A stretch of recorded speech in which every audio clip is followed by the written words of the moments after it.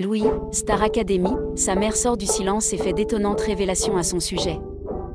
Dans les colonnes de Sud-Ouest, Valérie, la maman de Louis, grand finaliste de la Star Academy, s'est confiée sur l'enfance de ce dernier. Elle a ainsi fait d'étonnantes révélations concernant le meilleur ami d'Enola. Louis n'a peut-être pas remporté la Star Academy, mais il a fait la fierté de sa ville.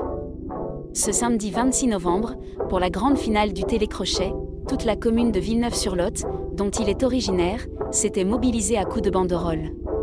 Cela n'a malheureusement pas suffi à donner la victoire au beau blonde, qui s'est incliné dès la première partie du prime. Malgré une performance épatante sur le morceau casting avec Christophe Maé, les téléspectateurs lui ont préféré Enola et Anisha, finalement sacrée grande gagnante de la saison.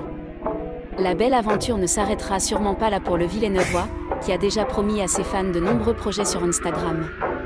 Il faut dire que Louis a encore beaucoup de choses à montrer.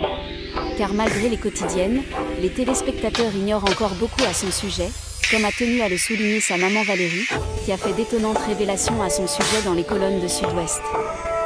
La maman de Louis se confie sur son enfance. Vous pensiez connaître Louis sur le bout des doigts?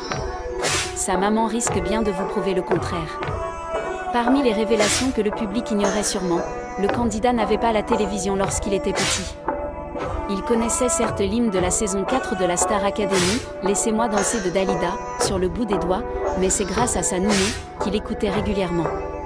Autre fait étonnant, malgré son look à la pointe de la mode, le finaliste ne porte pas de pièces nouvelles. Le look, ça a toujours été important pour lui, même quand il était petit et qu'il partait jouer dehors. Ce n'était pourtant pas une priorité dans la famille, nous habitons à la campagne.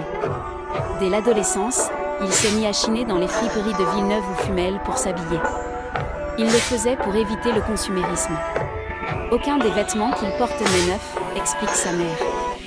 Et à ceux qui ont été épatés par la souplesse de Louis lors de son ultime évaluation, dont le thème était Supprenez-nous. Moi, Valérie explique, il a toujours été lax, Louis. Et puis, il a gardé de la souplesse depuis ses cours de gymnastique à Montflanquin, qu'il a suivi du CM1 à la 5e. Le sens du spectacle, le meilleur ami d'Enola l'a depuis tout petit.